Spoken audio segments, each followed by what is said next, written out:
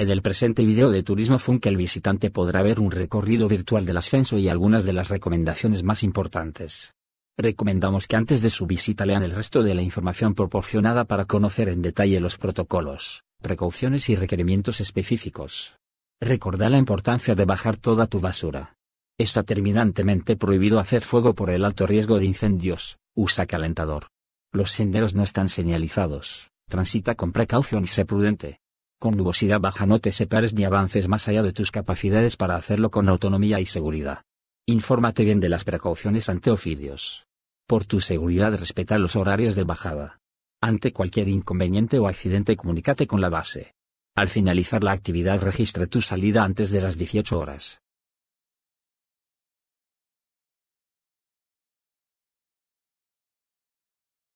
Con el estado del camino en condiciones, se llega al puesto Glorieta en vehículo.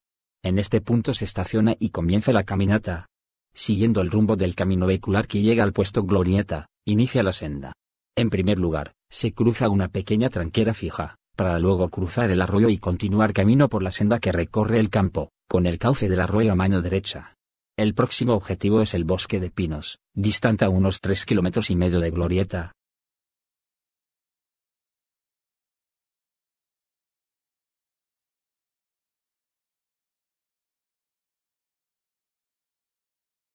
Una vez al pie del bosque de pinos, comenzará el ascenso propiamente dicho, en terreno empinado y pedregoso.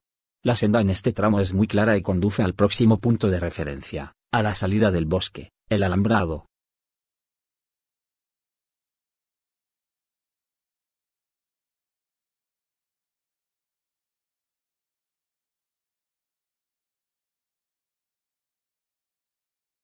Pasando este, el camino sigue ganando altura, por pendientes algo más suaves, hasta llegar a una zona alta donde hay que bifurcarse a la izquierda, para llegar al paso dinamitado.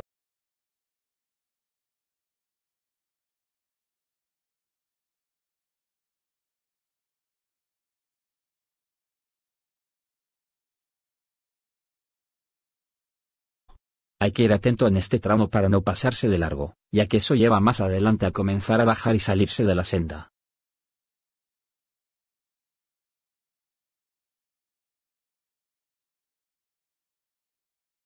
Una vez cruzado el paso dinamitado, apenas abajo y a la derecha se encuentra el corral. Una vez más, ir atentos para bifurcar a mano izquierda ni bien se pasa junto al mismo, ya que el seguir de largo implica comenzar a bajar y desviarse del sendero.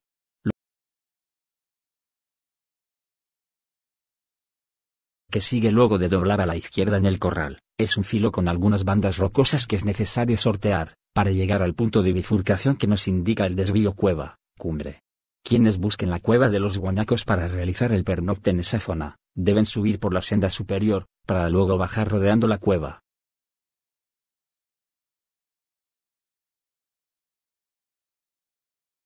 Es recomendable ir atentos a la huella y buscar la cueva sin impacientarse, ya que al llegar a ella por detrás cuesta ubicarla las primeras veces.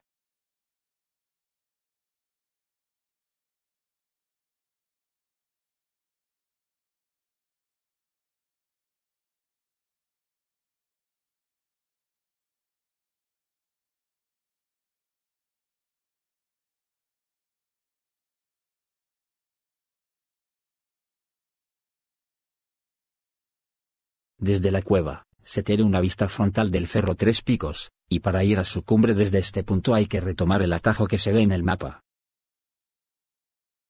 Volviendo a la bifurcación cueva, cumbre, quienes realizan el ascenso por el día, deben optar por la senda más baja hacia la derecha, que cruza por debajo de un pino de buen tamaño, que se puede observar desde el corral si se mira con atención. Una vez superada la travesía que cruza por debajo del pino, la vista del Tres Picos sobre el filo es bien frontal y permite apreciar lo que resta por recorrer.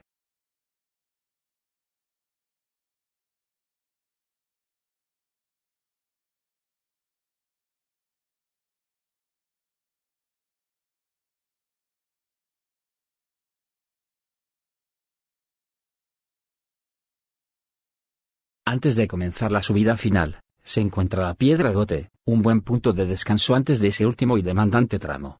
Es importante tomar a la derecha en la Piedra Bote, para tomar el camino más cómodo y levantar la vista constantemente para poder hallar la huella en esta parte.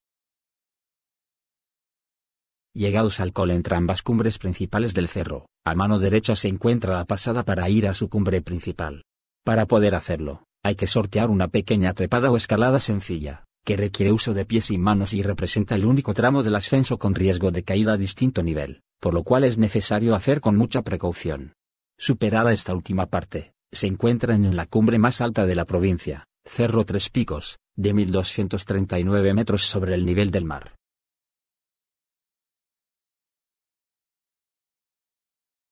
El horario máximo para comenzar el descenso es a las 13.30 horas, para poder estar de regreso en la base antes de las 18 horas, tiempo límite para el registro de salida.